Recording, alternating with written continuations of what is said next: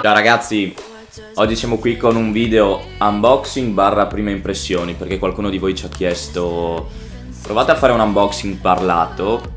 Allora dato che siamo in un periodo in cui vi mettiamo solo questi video ho detto dai proviamo a cambiare un po' il genere così magari non, non vi annoiate. Partiamo con l'SP No Goal eh, guanto che chiaramente vi porteremo sul canale anche con la, con la recensione come detto anche nel video aggiornamento che vi ringraziamo anche per aver capito un po' la situazione dato che tanti ci hanno scritto andate tranquilli, fate gli esami e tutto. Grazie. Allora partiamo. Eh, allora, il dorso è un dorso molto leggero, è fatto in neoprene, un unico pezzo di neoprene su cui è applicata della gomma.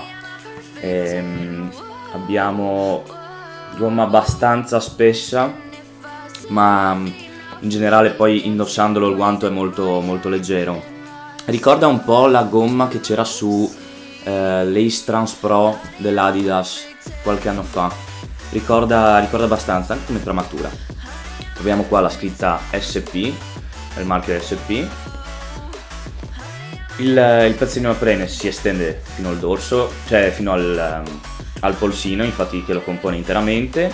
Nella parte interna abbiamo questo, questo pezzo in materiale tessile che aiuta nel tirar giù il guanto quando lo indossiamo. Il cinturino è eh, metà in lattice e metà in eh, materiale elastico. Fa solo un giro sul polso ma chiude molto bene, avvolge molto bene l'avambraccio insomma. Siamo al palmo, il palmo è un giga grip. E proprio al tatto si sente che ha ancora tantissimi residui di lavorazione quindi vi consiglio se acquistate questo guanto di, di fargli un bel prelavaggio perché perché si sente che c'è ancora tanto materiale sopra. Il taglio è completamente negativo, partito riscalamento. Eh, il taglio è completamente negativo con inserti in lattice tra le dita. Eh, un negativo che mi ha, mi ha, convinto così a prima impressione. Eh, l'unica cosa che forse non capisco come scelta della casa è non aver, non aver um, fatto girare il lattice attorno al pollice con una chiusura, con una cucitura negativa, ma anche positiva, ma solamente farlo girare per aumentare un po' la superficie. Non so perché non l'hanno fatto, secondo me poteva essere utile.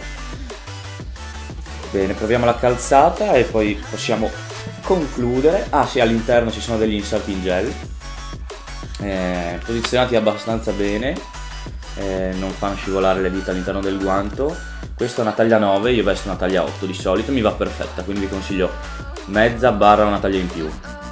E il guanto comunque veste bello aderente. E, bene, le sensazioni sono buone.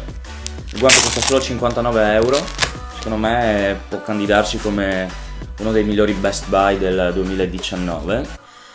E, beh, per queste prime impressioni barra unboxing è tutto.